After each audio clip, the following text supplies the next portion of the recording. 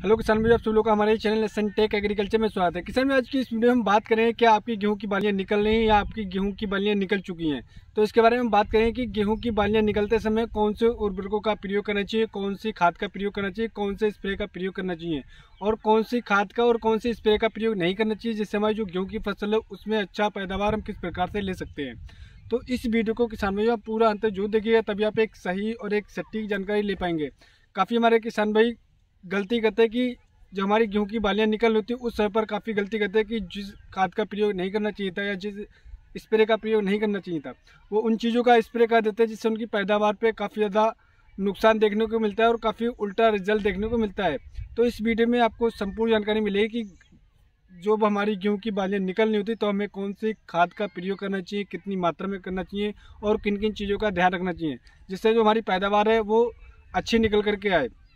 तो इसके लिए इस वीडियो को आप पूरा अंत जो देखिएगा, तभी आप एक सही और एक सटीक जानकारी ले पाएँगे। आइएगा हम शुरू करते हैं किसान भैया कि जो हमारी गेहूँ की बालियाँ निकलनी होती हैं कहीं कहीं पर हमारे किसान भाइयों की बालियाँ निकल चुकी हैं और कहीं कहीं पर निकल रही हैं और कहीं पर गबोजे की अवस्था में है।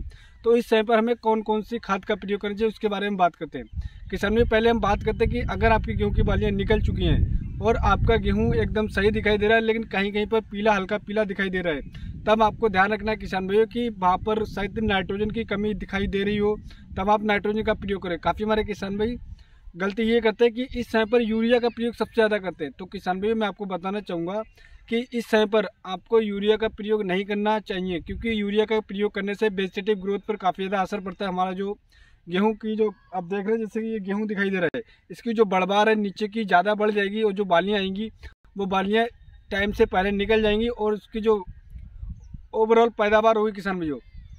वो पैदावार आपकी घट करके आएगी। तो किसान भी इस समय पर आपको यूरिया का प्रयोग बिल्कुल नहीं करना है। काफ़ी हमारे किसान भाई गलती करते हैं, जिस वजह से हमारे उन्हें घाटा देखने को मिलता है। तो किसान भी आपको यूरिया का प्रयोग बिल्कुल नहीं करना। दूसरा चीज़, एक चीज़ ध्यान रखना है कि आपको लग रहा है कि आपके खेत में नाइट्रोजन की कमी है।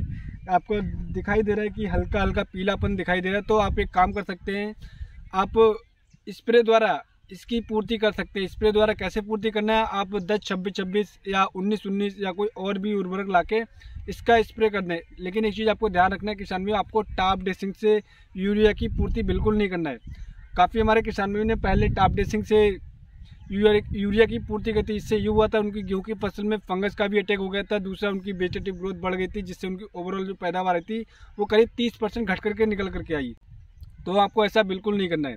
दूसरा किसान में एक चीज़ और ध्यान रखना है कि हमारे काफ़ी किसान में इस चीज़ का भी काफ़ी ज़्यादा गलती करते हैं, जो मैं आपको बताने वाला हूँ कि जब हमारी गेहूँ की बालियाँ निकलनी होती तो यहाँ पर ये पीजीआर टॉनिक का प्रयोग करते हैं। किसान भाइयों, आपको पीजीआर टॉनिक का प्रयोग अगर करना था तो आपको पहले करना चाहिए था। इस समय पर आपको बिल्कुल नहीं करना। अगर आप करेंगे तो आपका टाइम और पैसा बिल्कुल बर्बाद जाएगा, क्योंकि इस समय जो ग्रोथ होना थी, वो हो चुकी है। तो आपको कोई भी एक्स्ट्रा अपना दिमाग नहीं लगाना है और कोई भी पीजीआर टॉनिक का प्रयोग नहीं करना। अगर आप प्रयोग करते हैं तो आपका पैसा और टाइम दोनों चीज़ें बिल्कुल बर्बाद जाएँगी, क्योंकि इसका कोई भी फ़ायदा बेनिफिट नहीं होता है।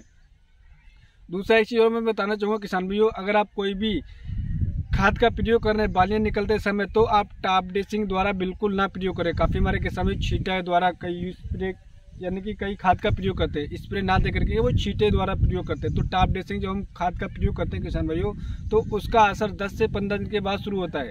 अगर आप इस समय पर लाएँगे तो 10 से 15 दिन के बाद हमारी गेहूँ की बालियाँ पकने के स्टेज में होंगी तो आपको कोई भी फ़ायदा नहीं मिलेगा, अगर आपका प्रयोग करना है।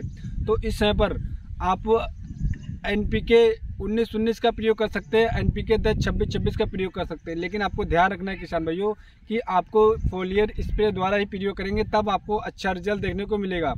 इस समय पर एक चीज़ का और प्रयोग कर सकते हैं, किसान भाइयों, कि आप इस समय पर, आप अगर बोरोन का प्रयोग करेंगे, तब आपको बहुत ही अच्छा रिज़ल्ट देखने को मिलेगा। इससे पहले भी मैं वीडियो बना चुका हूँ, किसान भाइयों, ये मेरा खुद का तजर्बा है। तो अगर आप इस समय पर बोरोन का प्रयोग करेंगे तो आपकी जो गेहूँ की जो बालियाँ आएँगी, वो काफ़ी शानदार चमकदार दिखाई देंगी और आपकी जो पैदावार आएगी, वो काफ़ी अच्छा रिज़ल्ट आपको देगी और जो पैदावार में काफ़ी ज़्यादा आपको बढ़ोतरी दिखाई देगी। तो आप इस समय पर बोरोन का प्रयोग कर सकते हैं एन पी के दस, छब्बीस छब्बीस का प्रयोग कर सकते हैं एन पी के उन्नीस उन्नीस से एन पी के ज़ीरो, बावन, चौंतीस, इन इनमें से किसी भी चीज़ का प्रयोग कर सकते हैं।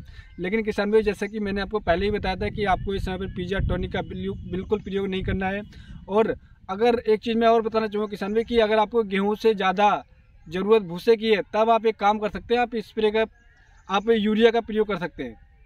क्योंकि यूरिया जो हमारी होती है वेजिटेटिव ग्रोथ को बढ़ाने में काफ़ी ज़्यादा सहायता करती है और उसकी जो गेहूँ जो है, आपका टाइम से पहले थोड़ा पक भी जाएगा और आपको जो भूसा है, उसका थोड़ा फ़ायदा हो जाएगा आपको।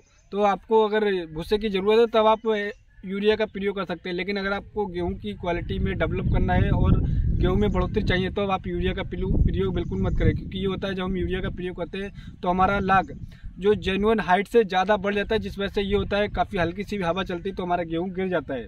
इससे भी आपको हानि देखने को मिलेगी। तो एक चीज़ और ध्यान रखना है किसान भी इस समय पर आपको अपनी गेहूँ की फ़सल में नमी मेंटेन करके रखना है, ना ही ज़्यादा रखना है, ना ही कम रखना है। अगर आप नमी को मेंटेन करके रखेंगे, जो उर्वरकों को मैंने बताया था, उन उर्वरकों का प्रयोग करेंगे। तो किसान में मैं विश्वास के साथ कह सकता हूँ, गारंटी के साथ, ये मेरा तजुर्बा है कि आप अपनी गेहूँ की फल से बेहद अच्छा पैदावार ले सकते हैं पिछले साल के मुकाबले।